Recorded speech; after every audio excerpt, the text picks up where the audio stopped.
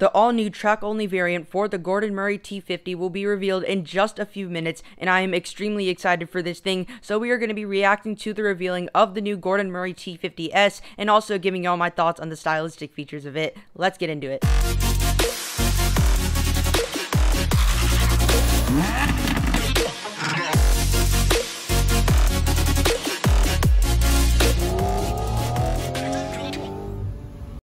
And if you haven't already, please subscribe down below to help me reach my goal of 1,000 subscribers in 2021. It would really help my channel out a lot, and we do have a ton of car content that is coming up, including supercar vlogs. So if you're a car fan like me, you're gonna like this channel. Alright, the track-only variant of the Gordon Murray T50 will reveal in just under 10 minutes. I am super excited for this. Alright, the Gordon Murray T50S will reveal in just 12 seconds. It is really, really close. Three, two, one and it is starting. The design of this thing, I know it's going to be wicked, and this guy is just really, really good at designing the cars. He designed actually the T50, which is based off of the McLaren F1. And there's the standard T50. Are they going to reveal the T50S? Come on. I can see him sketching it right there. We can barely see it in the corner right there, so we kind of have an idea of what it's going to look like.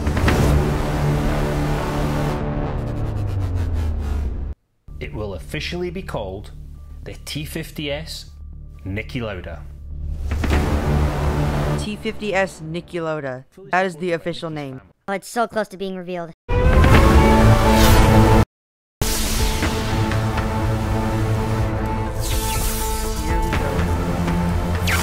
It's happening. Right there. Oh! Good gosh. That looks really, really cool. Oh my gosh. This thing produces a ton of downforce. That looks insane. Look at the rear. It looks so much different from the old T50. Wow. Look how giant that front splitter is. That's huge. That's one of the reasons why it produces that much of downforce. That literally looks like airplane wings. Oh my gosh. This machine is absolute insanity. Oh my goodness. This thing is so, so insane looking. And that's how it sounds. 12,100 RPM V12. There are so many cuts and lines on this car, it just makes this car look so crazy. The looks and performance and driving experience will be insane.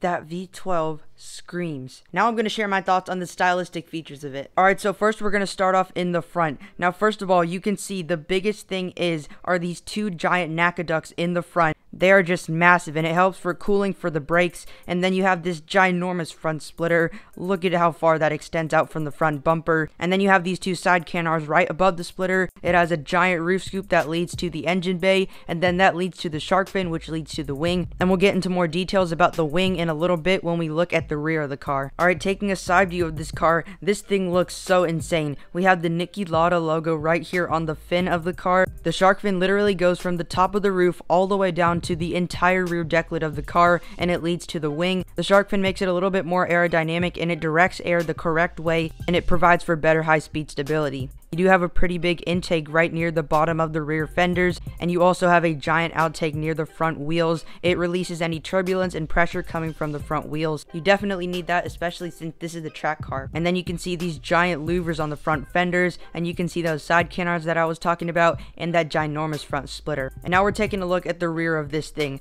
It looks so, so crazy. First of all, you can notice on the top, that rear roof scoop. Second of all, you can notice that giant rear shark fin that I was just talking about. And third, you have that giant rear wing in the back. It kind of reminds me of a Huracan STO rear wing, but this just looks so, so insane. The tabletop of the rear wing kind of reminds me of an airplane wings. That's just coming from me, but it just looks so, so crazy. You have two giant exhaust pipes on the bottom, and as I said in this video that I made, it does not have any sound insulation at all, so this thing will be screaming with its 12,100 RPM redline revving engine. You have one tail light on each side of the car, so you have two tail lights in total, and then if you come to the middle of the car, you can see that giant, giant fan. And this car does also have a giant, giant diffuser. And what does all of that produce? an insane amount of downforce. This thing will produce 3,300 pounds of downforce, which is more than what the entire car weighs. That is insane. And you know what else is insane? The looks. So out of a rating from 1 to 10, I would say a 9.5 out of 10 just because it's not elegant, but I gave it a 9.5 out of 10 because it is insane looking, it is crazy looking, it looks so so aerodynamic and all of those things serve a function and that is to produce as much downforce as possible and it did the job right. Alright, but that is basically going to wrap up today's video and tell me y'all's thoughts on the new Gordon Murray T50S Niki Lauda. That is a very long name. But if you haven't already, please subscribe down below to help me reach my goal of 1,000 subscribers in 2021. It would really help my channel out a lot, and we do have a ton of car content that is coming up,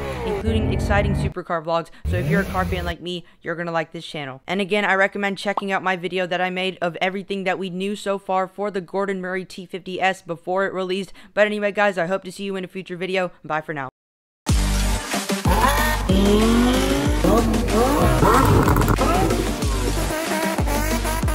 1900 horsepower. I like the speedster?